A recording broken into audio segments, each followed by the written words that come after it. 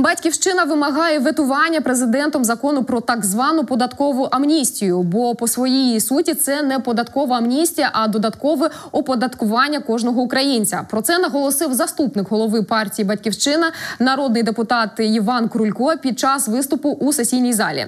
На цю тему ми поговоримо з нашим експертом Сергій Митрофанський, депутат Одеської обласної ради, заступник голови партії Всеукраїнського об'єднання Батьківщина з нами на прямому зв'язку. Пане Сергію, вітаємо вас. Вітаю вас, Сергій. Тож, що не так з цим законом, на вашу думку? Е, декілька є речей, які виникають, викликають занепокоєння. Перше, насправді, це мова йде про обмеження в 400 тисяч гривень. Звідки взялася ця сума? І ми розуміємо, що насправді е, це занадто, як на мене, низький поріг, після якого може передбачатися фактично переслідування, в тому числі і кримінальне переслідування за несплату податків.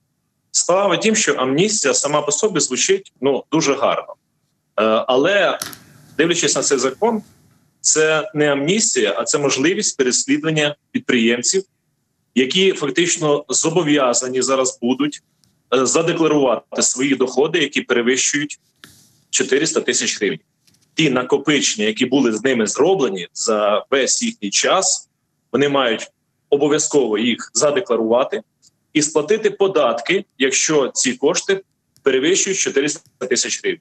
Фактично під цю норму попадають абсолютно всі, тому що 400 тисяч гривень, ну як ми вже неодноразово говорили, це ну навіть не однокімнатна квартира. Тому фактично в податківці буде інструмент до кожного прийти і сказати: дивися, е, у тебе був час добровільно задекларувати кошти і все, що перевищує суму 400 тисяч гривень, сплатити з цього податку. Оскільки ти з цим не скористався, то ми зараз включаємо, скажімо так, адміністративні важелі, будемо оцінювати твоє майно. І оскільки в тебе є трьохкімнатна квартира, два автомобіля, а це перевищує 400 тисяч гривень, ти, значить, зломисний неплатник податків.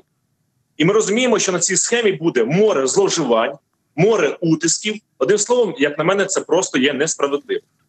В цілому, можливо, час до такого законодавства прийшов. Я не сперечаюсь, але ми маємо до цього підійти трішечки по-іншому, більш ретельно, з перехідним періодом, з іншим е, фінансовим порогом і так далі.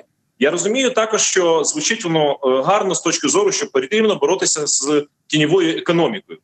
Але мені здається, що варто було б для початку всі зусилля кинути на тіньові схеми, які в нас є пов'язані із митницями, із розмитненням, із офшорами, із конверт-центрами і тому подібне. Адже 80% тіньової економіки зосереджено саме там.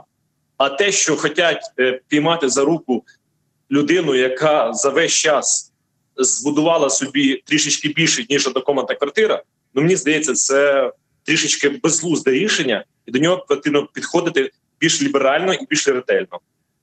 Тому наша фракція і заявила, фракція Батьківщини в Верховній Раді, що ми вимагаємо витування від президента цього закону для того, щоб більш експертно підійти до е, правок до розгляду альтернативного законопроекту. Як е, реагують ваші колеги на те, що ви хочете зробити? Ви маєте на увазі в Верховній Раді колеги, як реагують? Так, так, так. Ну на превеликий жаль, ми бачимо з вами, що є монобільшість, яка, власне кажучи, приймає рішення, не озираючись на думку опозиційних сил, якими ми тому числі являємося, і оскільки вони вже цей закон прийняли, хоча не такою вже і глобальною більшістю, але тим не менше е, достатньо для того, щоб закон був прийнятий. Тому в Верховній Раді, на жаль, ми не покидаємо надій на Верховну Раду в даному випадку, оскільки вона своє рішення прийняла. Ми все ж таки зараз звертаємося напряму президента до президента, який має ще юридичні важелі для того, щоб призупинити зазначений законопроект. Тож скажіть, будь ласка, ще а є ще якісь плюси в цьому законопроєкті, якщо ви читали і ви з ним ознайомились? Чи тільки один Дивіться, лише з... негатив?